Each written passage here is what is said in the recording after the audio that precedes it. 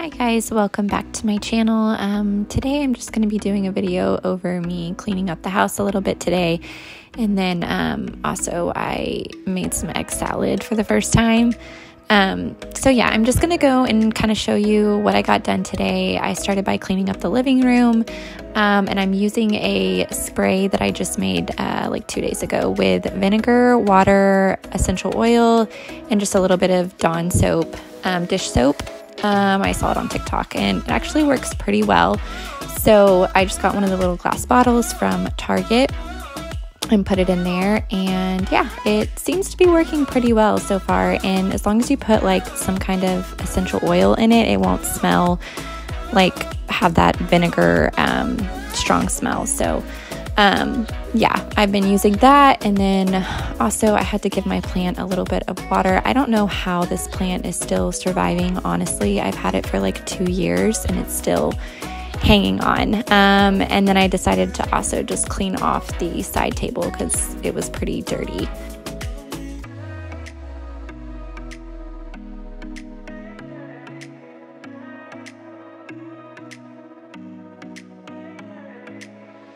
So now I'm getting ready to make that egg salad I was talking about. I've never made egg salad before. I saw it on TikTok and it just looked good.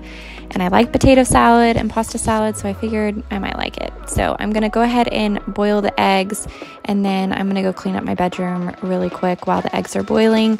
Um, I just took six eggs and I'm gonna use mayo and Dijon mustard. So we will see. Gonna make up our bed. And I think I mentioned this in my last video, but we do use a duvet cover, which is really nice because we don't have to wash the actual comforter. We can just throw the duvet over it. And yeah, it just makes it much easier.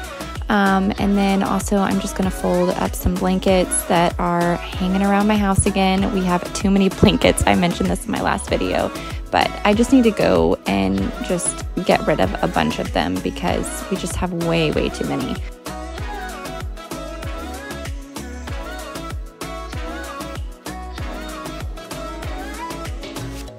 Okay, so now I'm going to start peeling the eggs and this usually takes me a while. I don't know why. I need to figure out like a trick to, if anybody knows the trick to just getting the whole shell off at once rather than, I feel like I'm always just like constantly picking at it.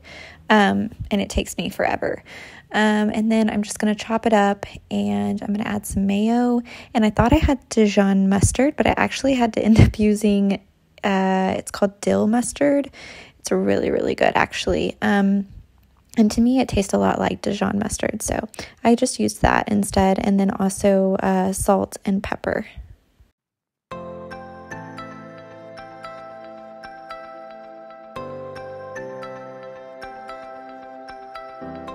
So after I finish mixing everything together, I'm to go ahead and make myself a bowl.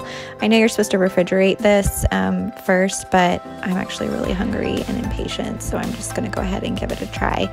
I appreciate you guys watching this video. I will be posting new videos every Monday, Wednesday, and Friday, so please don't forget to subscribe, and I will see you guys next time.